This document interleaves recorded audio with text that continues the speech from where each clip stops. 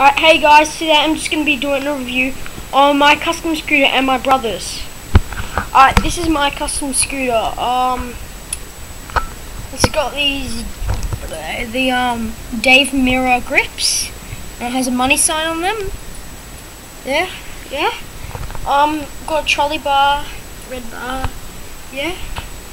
This is white bar with purple grips, alright. Now this bit here is silver. I was I wanted to get it gold. I'm gonna get it changed to gold. Yeah, so it makes it look a bit better.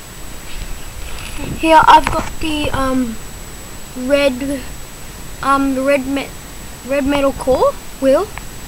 Yeah, it's pretty shiny. Uh I got checkered um grip tape. Pretty nice. And here I got the black metal red metal core but this time it's black checkered. This one spins for about three minutes, really good. Alright, so that's my scooter right there. Um, here's my brother's. He's got also the purple Dave Mirra things. The money sign's right there. I don't know if you can see that. I'll get some pictures.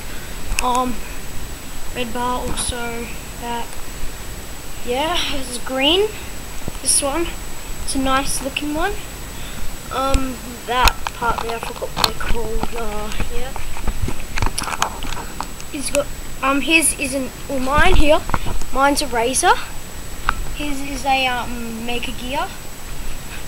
Um, he's got the green wheels, the flavor wheels, they call something like that. He's got the pink and black grip tape. He's got, um, a different thing to mine. He's got, this one's like different looking and he's got the purple one there. Um yeah. There are custom scooters. Thanks for watching